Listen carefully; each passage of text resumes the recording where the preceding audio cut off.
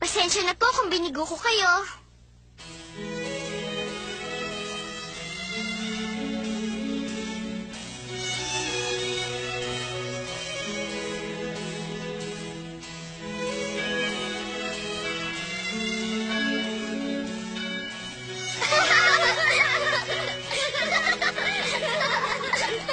Ako po si Judy Oh, Abbott. mukhang masaya ka yata. Sandali lamang ha. Ayun, para kay Judy, isang pakete. Salamat po, Mr. Hardy. Judy, kanino galing yan? Kay Jervis Pendleton. Doon sa taong yun. Tito yun ni Julia, yung inikot mo sa eskwelahan. Tama. Ah, mayroon ding sulat. Pakibukas yan, ah. Oo ba? Dear Miss Judy Abbott, maraming salamat. Pag-ubos mo ng iyong bakanting oras, nakasama mo ang isang Makasarili at nakakaawang taong tulad ko. Matagal ko na rin hindi nararamdaman ang ganoong pakiramdam. Paano ba kita mapapasalamatan? Sa pagbili mo sa akin ng tsaa. Hayaan mo namang ipakita ko sa iyo ang aking pasasalamat. Pinadalang kita ng isang kahon ng tsokolate.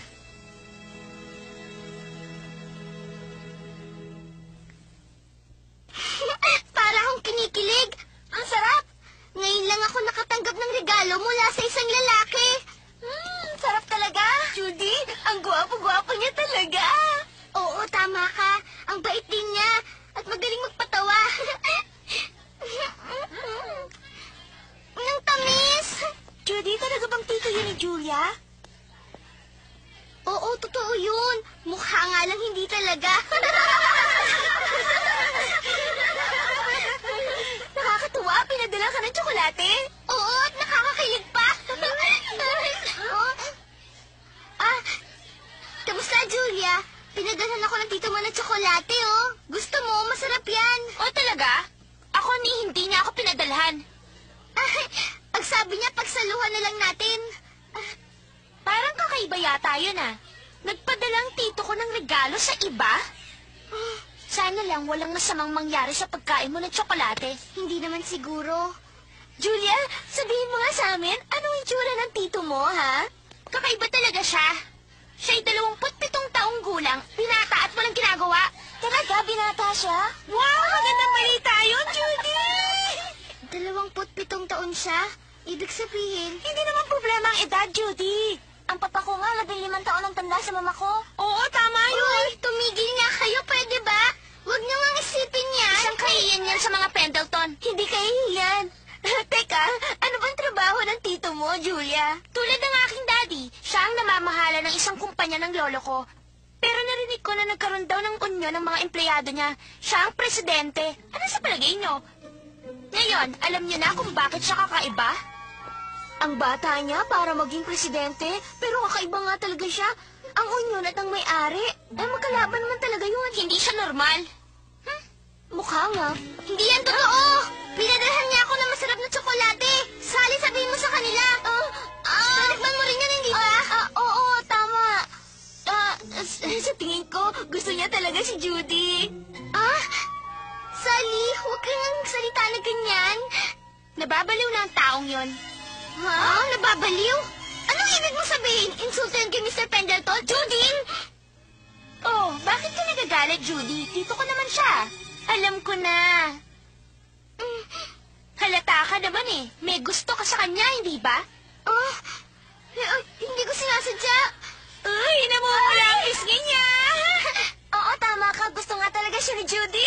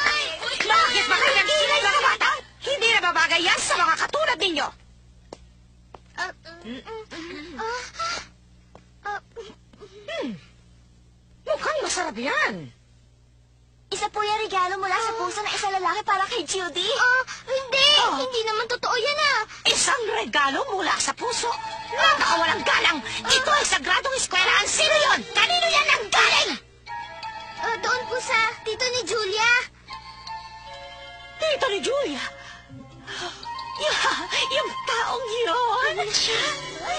Ah, gusto niyo po bang tikman, Miss Throne, ha? Ah, lako, hindi nagsasarap. Sarap po yan, Miss Throne. Ang sabi niya, bigyan ko raw po kayo, Miss Throne. Ah, sinabi niya yon. Oo, sinabi niya po talaga yun. oh, huwag niyo lalakohin mga katulad ko! Pero sige na nga, palikin na nga rin. Hmm.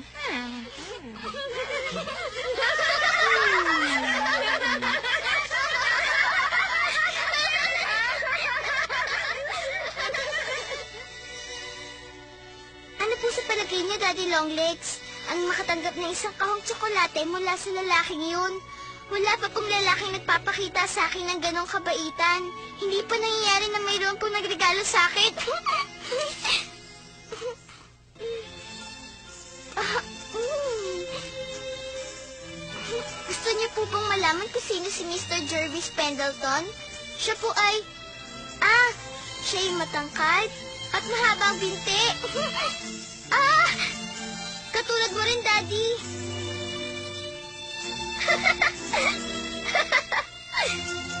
Nakakatuwa siya. Palapiro at magiliw po. Para nga po hindi siya tito ni Julia. Naglalakad-lakad po kaming dalawa sa eskwelahan. At magkasama uminom ng tsaa at nagkwentuhan ng maraming bagay.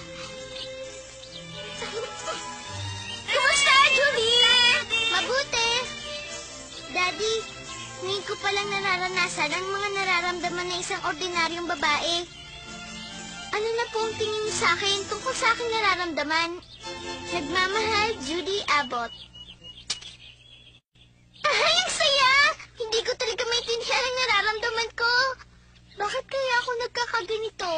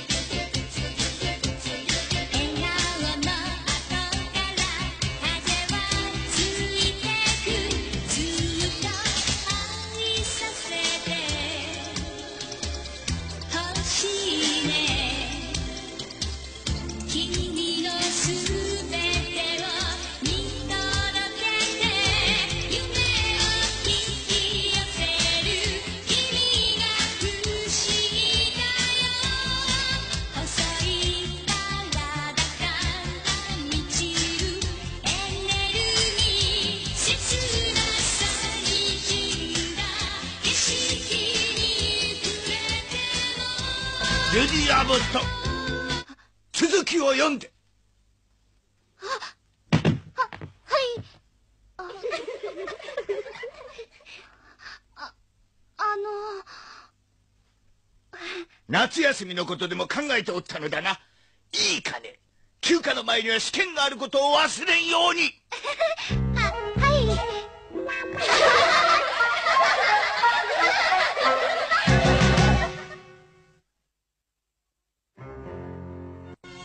Dear Daddy Longlegs, sa unang pagkakataon, bumili po ako ng sombrero at damit sa aking baon. Natutuwa po ako at parang biglang gusto ko lang pong bumili.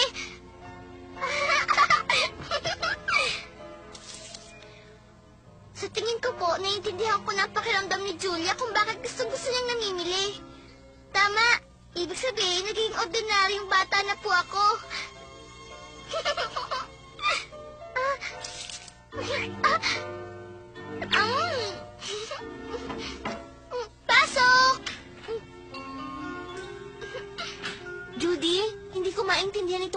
masama.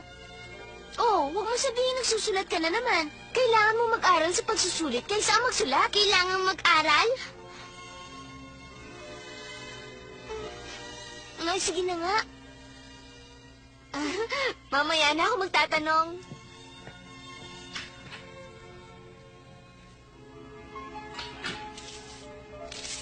Oh? Ay, naubos na pala ang tsokolate.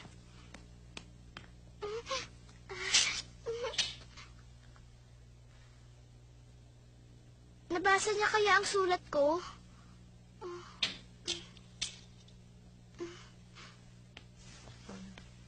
Junten, hindi na ako makapaghihintay.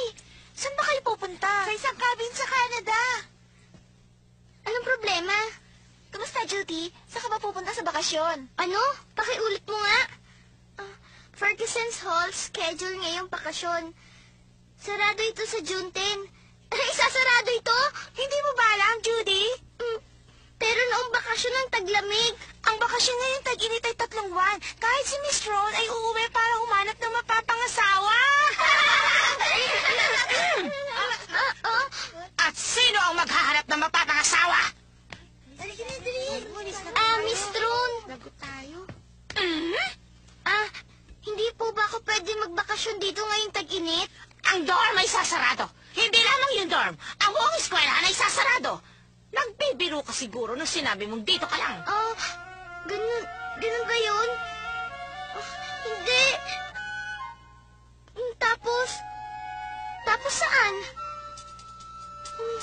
Pupunta?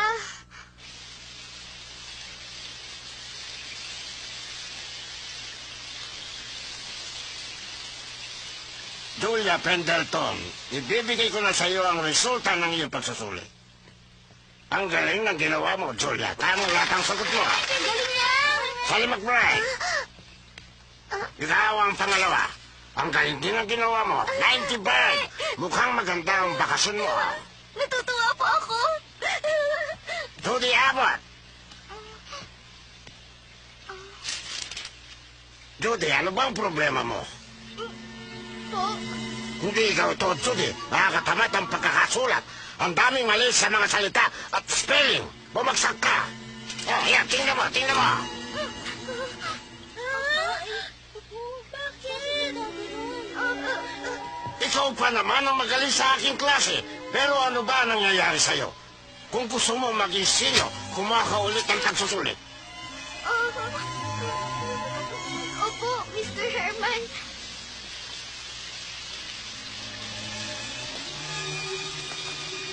Ayos lang yun. Kung pagbubutihan mo sa susunod na pagsusulit, huwag kang mag-alala. Ah, ah, Judy? Ah, Judy, tingnan mo. Meron kang sulat. Isang sulat? Ah, mula kay Daddy Long Legs. Ah, oh, natutuwa ako. Ah, Mm, ah. Oh, Daddy! Ah, Li- Miss Lipit. Ah, ah, ah. Yung tungkol ba yan sa iyong pagbabakasyon, ha? Ah, ah, Oo, malamang ito na nga. Nandun muna ako sa cabin namin sa Mount Adindak. Eh, ikaw naman, Judy. Oo, bakit hindi mo muna basahin yan? Ah, ah mamaya ako nagbabasahin na. Mag-aaral muna ako. Ah, ah,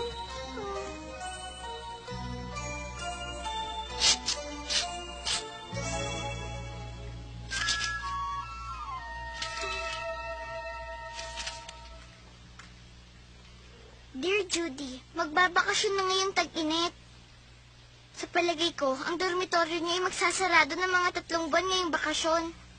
Dahil nga wala ka namang ibang lugar na pupuntahan, pupunta ka dito sa John Gare Home para kumita ka ng extra pera. Maraming trabaho ang dapat gawin dito. Ah, ayoko, ayoko na! Ayoko na bumalik pa sa angkonan! Ayoko na! Hindi na ako babalik sa John Grier Home! Ayoko na talaga bumalik pa doon! Isa pa, alam mo naman na kinakailangan mong magsulat ng liham sa sumusuporta sa iyo na si Mr. John Smith gaya ng pangako mo. Huwag mong kalimutan. Sabihin mo yan sa kanya. Yung mga ginagawa mo dyan sa iyong eskwelahan. Nakalimutan ko. Ang... Ang saya ko lang kasi. Daddy, si Mr. Pendleton po ay nakakatuwa, palabiro at magiliw po.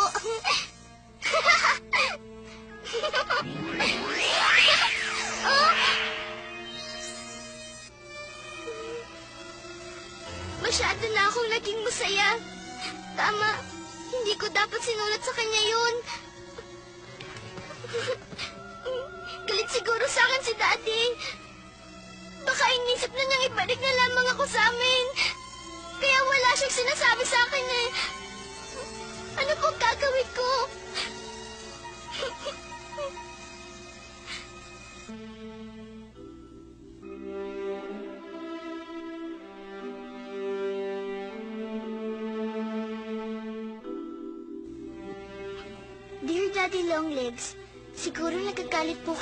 Akin dahil isa akong pabayang bata.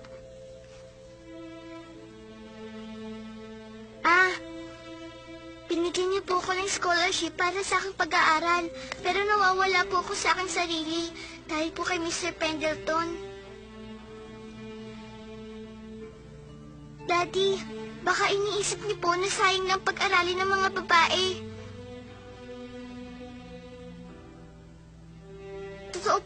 Ayoko pong bumalik sa ampunan. Kaya po na sinabi ni Miss Lipit. Mag-aaral na po ako ng mabuti. Hindi ko na po kayo bibiguin, Daddy.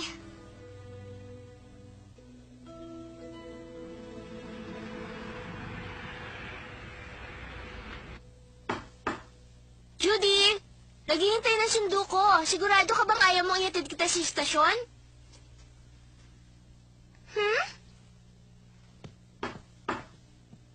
Nalulungkot ka pa rin ba hanggang ngayon? Napasa mo na yung pagsusulit. Magsaya ka na.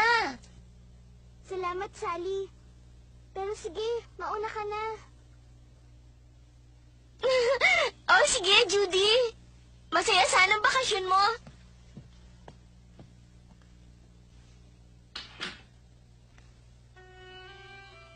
Parusa na sa'yo ito ng Diyos, Judy. Nagpabaya ka kasi.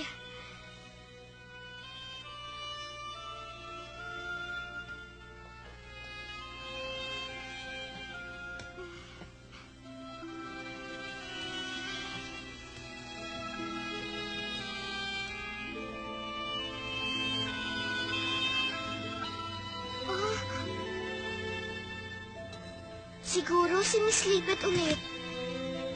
Siguro dahil hindi ko sinagot yung una niyang sulat sa akin.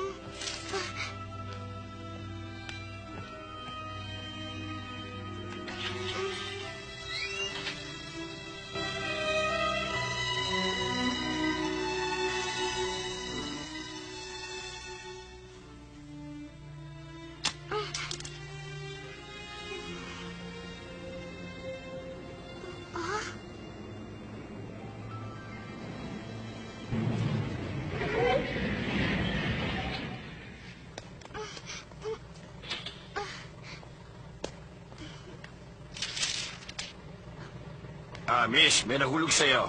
Ah, ah, salamat po.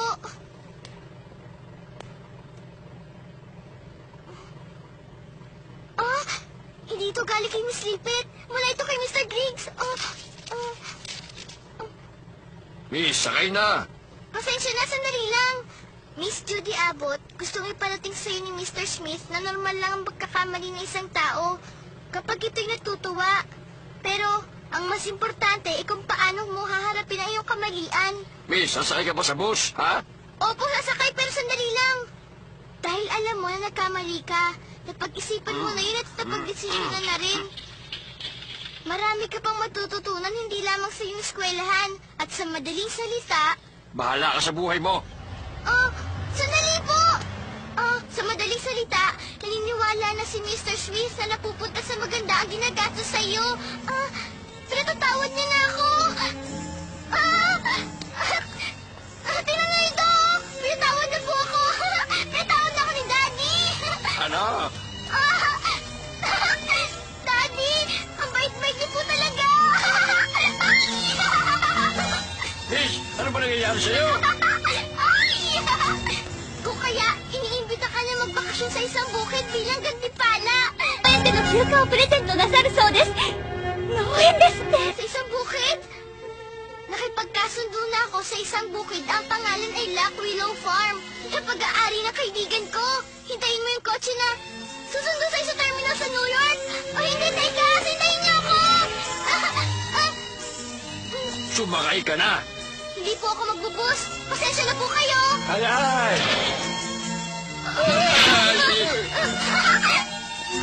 Ah! 啊